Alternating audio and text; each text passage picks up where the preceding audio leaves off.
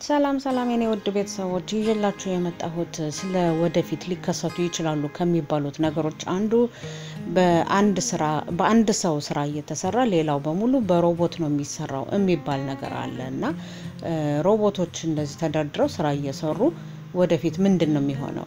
technical support ደውላችሁ ቆይ refer አድርጌ መልስላችኋለሁ ብሎ ቢላችሁ እናንተ እንዴት ነው የምትተማመኑት? በስራ ላይ ፍቅር ቢይዛችሁ ከሮቦት ጋራ ማለት ነው እንዴት ነው የሚሆነው? እንደዚህ ተጋብታችሁ የወደፊት ህይወታችሁን ትመራላችሁ ማለት ነው እና እንደዚህ ቤተሰብ ትፈጥራላችሁ ማለት ነው። ሕክምና ቦታስ ሄዳችሁ በሮቦት ነው እንደዚህ የሚደረግላችሁ ማለት ነው። ሕክምናችሁ check የሚደረገው ማለት ነው። እሺ astronaut ኦቹ ምናምን በሮቦት ይሰሩ፣ እሱ ምንም ችግር የለውም።